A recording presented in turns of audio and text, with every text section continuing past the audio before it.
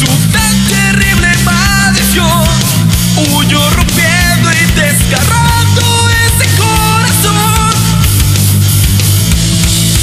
Los recuerdos inundan su pensamiento, el camino.